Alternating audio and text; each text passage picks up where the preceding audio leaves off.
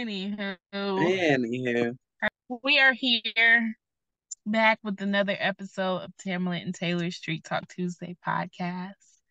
We hope that you guys have enjoyed the podcast so far this year.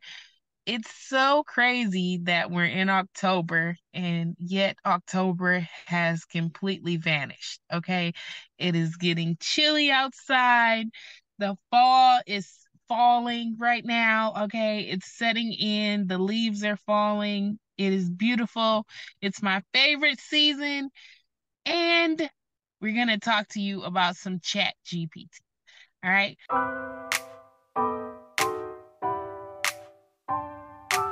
So Tamela has some things to show you. I'll chime in whenever I can, you know what I'm saying? And we're going to talk to you about how your business can be enhanced by using this AI automation. So um, I'm Taylor with Taylor's Kitchen, located in Albion, Michigan, where we make custom sweet treats for your special occasions. And I can be found on all social media platforms at Sweet Spirit Treats. Gonna head over to Tamela and let her talk to you guys about this chat GPT. All right. Yes. Thank you, Taylor. So yeah, I'm Tamela, owner of Torlitas for that sweet and crunchy taste. Torlitas is a dessert company located right here in this great state of Ohio, where I specialize in salty sweet treats. If you want to know more about me and my business, head on over to Instagram at Torlitas. That's T as in Tuesday, O R L I T A S. And just as Taylor was saying before, AI is here and it's not going anywhere. All right, folks, it's not going anyplace. So why not use some tools that Taylor and myself use to help you in your business, right? So if you're new to AI, which is artificial intelligence, I know, I know, I know it's a scary topic. It's a scary topic for a lot of people. Yeah, they're gonna zap our brain. Yeah, our brain brain's not gonna use any, you know, we're not gonna have to use our brains anymore and all the stuff that you've heard, right? But let me share this with you, okay? AI can help you in your business. And let me show you how. I'm going to be using uh, Microsoft Bing, but there's Chat GPT and there's various versions of that. There's Google Bard. Oh my gosh, there's Midjourney, there's DALL-E, there is blah, blah, blah, blah, blah. I don't even know how many there are now but they're all are advantageous for you and your business. Tired of thinking of what to say on Instagram? Well, guess what? or any of the social media uh, accounts, Chat, GPT, Bard, or any of these. I'm talking about Bing. I'll talk about Bing, which is Microsoft. They have a way to create content for you. And all you got to do is read it. Or guess what? There's another AI that will take your voice and read in your voice so you don't have to do anything. Yeah, it's a bit scary, but it's available, right? It's available. And if you know, you don't know, I know I'm going on on because it's, it's an interesting topic. But um, what do you think about Taylor? How have you used um, the um, Chat GPT in your business? I have used it to help me write bulk e- emails. I have used it to help me with some campaigns um, to send out to my clients. I've also used it to help me do things such as cover letters. Um, I've helped it has helped me to do newsletters and lots of other things because um me speaking to someone is completely different than me writing a letter. And english has not always been my strong suit. However um it has been very helpful in those areas for me and for my business. Um i remember a couple of years ago we were taking that course and we were like the one thing we don't understand is how to make this fit into our space or into our industry um because we were learning from someone who does like sort of like has like universal products right so they can be used for any business but it was just like that last personalized thing. Like, how do I make this specifically for home make home bakers or home treat makers? And so that's what I have been using it for for a while now, and it's been helping me out tremendously. Nice. Yes, all of that. All of that. It'll tell you, it can tell you trends. It can tell you what's trending in your local area. All you have to do, and there's something called prompts. I want to be very mm-hmm. specific about this. Something called prompts.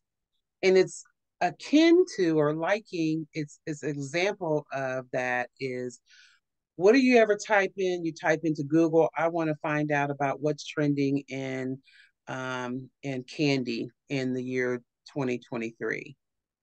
It's kind of like that, but you gotta be specific. Specific. Instead of saying what is trending in uh, for candy in 2023, I might put what what are um, what is trending in chocolate, salty sweet snacks, flavors, and what are the age groups of people that like those things. And guess what? It goes to work and it spits out information to you. Okay. And it's such a great tool for you to kind of hone in on what you want to offer and what and, and who do you right. want to offer it to. So that, mm-hmm. or just well, I'll just give a simple example.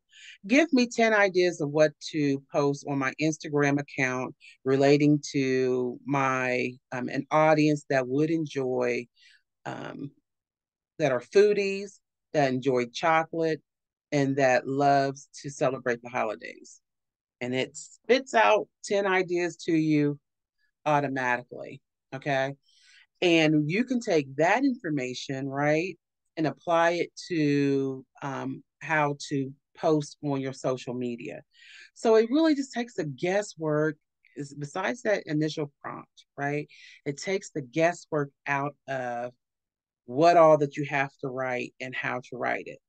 And then guess what? Here's a little trick. You can take one of those topics and say, give me five reasons or five days of content or let's put it another way give me five um, titles I can use for a short story or a reel. And it'll spit out five topics for a reel.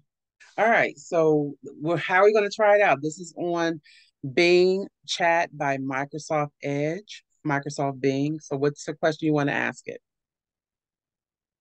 Uh, what are the the dessert top five trending desserts for fall? And hit return.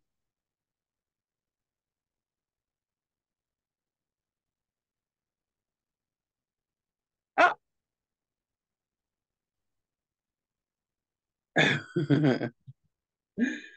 All right. so they pie. listen.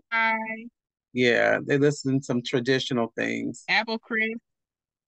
Yeah. Caramel apples, sweet potato.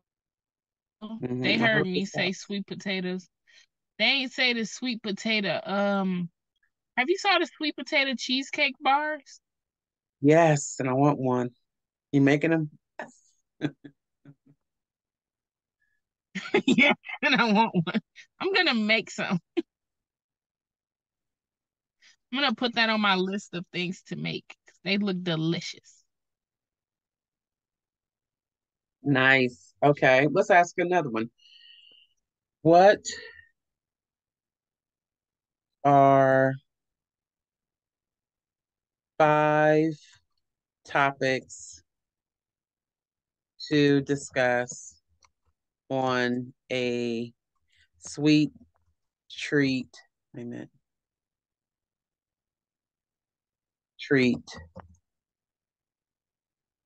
podcast.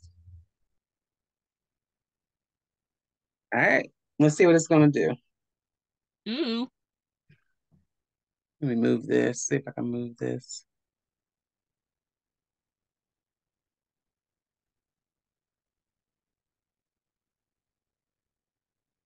History of desserts, baking. All right. We got dessert pairings, dessert trends, dessert culture. You know, dessert culture is a big thing. We don't ever, I guess, when we did the sweet potato versus pumpkin pie last year, that was more of a cultural thing. Yeah. We should do, we should do some more trending desserts. Okay, let mm. me see if I mm. can copy this. We hope you have enjoyed this episode of Tamela and Taylor's Treat Talk Tuesday podcast. Be sure to like, share, and subscribe. And if you have any more questions about how to enhance your business with AI, let us know in the comments. Have a blessed week. Bye.